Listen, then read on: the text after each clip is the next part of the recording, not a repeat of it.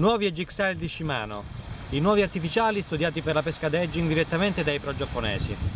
Prodotti in due versioni, la versione Rattle e la versione 4x4 Loudness, sono degli artificiali perfetti per affrontare le più disperate situazioni della pesca ad edging ai cefalopodi. La versione Rattle, come dice il nome stesso, è eh, caratterizzata dalla presenza di biglie sonore in, in alcune camere che producono un rumore eh, molto attrattivo per i cefalopodi. Eh, di base si sarebbe studiato il, il suono emesso dal cefalopode maschio, eh, in modo da attrarre sia la femmina e sia eh, altri maschi che tentano di scacciare l'intruso dal proprio territorio. Eh, è così adescante questo genere di, ehm, eh, di, di, rumore che già in fase di caduta è possibile ottenere degli attacchi, molto spesso ci è capitato, sia con, con sepi che con calamari.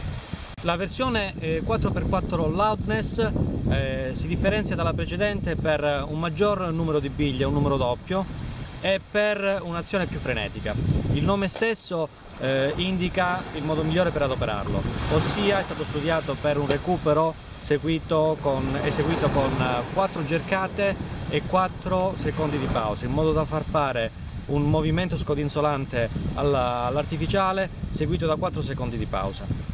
L'affondamento in entrambi i casi avviene in una prima fase se noi lasciamo il filo in bando di testa per poi stabilizzarsi in, in una posizione differente, una posizione più orizzontale, in modo da eh, produrre un effetto molto particolare e anche da produrre una variazione eh, in termini di rumore. Eh, noi possiamo però gestire il grado di affondamento di, que di queste esche con la tensione del filo perché se noi manteniamo il filo in tensione riusciamo a produrre un affondamento più stabilizzato e quindi meno veloce. Le misure sono le tipiche, le più redditizie per i nostri mari, eh, sia per quel che riguarda eh, le distanze di lancio sia per quel che riguarda eh, l'apprezzamento dei cefalopodi stessi.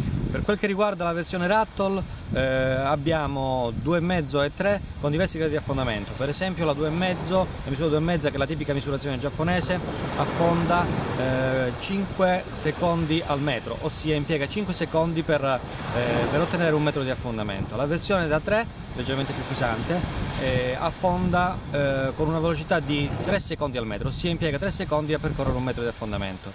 A proposito di pesi, le, le varie versioni hanno appunto una diversa grammatura, la misura da 2,5 pesa eh, 10 grammi nella Rattle e 11 eh, grammi nella 4x4 Loudness. Eh, le misure da 3 eh, hanno una grammatura rispettivamente nella Rattle di 14,5 grammi e nella 4x4 Loudness di 15,5 grammi.